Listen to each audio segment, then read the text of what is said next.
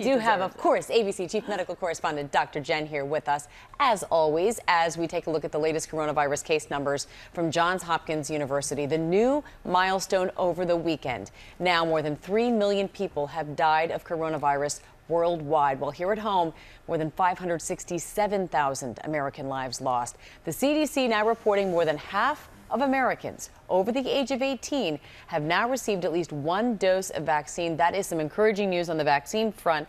However, we are seeing some concerning yep. signs about an increase in cases because we were seeing it happening in younger people yep. due to these variants we've been talking about. But there's some interesting news about a possible treatment. Exactly. And listen, as we watch the goings on of this pandemic, remember, we're focused on prevention, immunization, we're focused on testing, and we're focused on treatment. You have to do all of those things at the same time. So, some interesting news about treatments. In particular, using a very commonly used antidepressant. It's called fluvoxamine. It's an SSRI um, used to treat OCD and depression. Uh, in two very small studies that have been published, they showed some promising results in patients with COVID treated with this drug.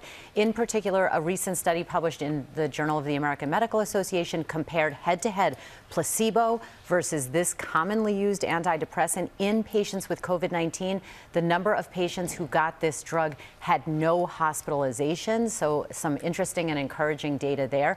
Possible mechanisms at play, Amy, it may prevent a cytokine storm, that so called inflammatory response, which we know can be so dangerous in patients with COVID, but it is still under research, not ready for prime time yet. Okay, and for people who are suffering, not hospitalized, but yeah. looking for some treatment, some way to alleviate uh, or alleviate the symptoms, what do you suggest? Well, I'm getting this question from patients on an ongoing basis. They have COVID, and remember, just because they don't require hospitalization and we call it mild disease does not mean it's easy. It can last a long time. So the recommendations now for patients at home give it time, rest, symptomatic relief with things like acetaminophen or ibuprofen. And then for hospitalized patients, again, we're seeing steroids, remdesivir, monoclonal antibodies, anti-inflammatories, all of that used, but clinicians so much better now at treating those critically ill cases. So there is some encouraging news. Yeah, that is some good news.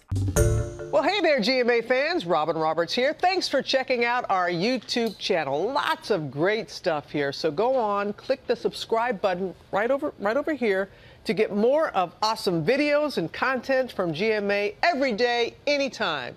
We thank you for watching, and we'll see you in the morning on GMA.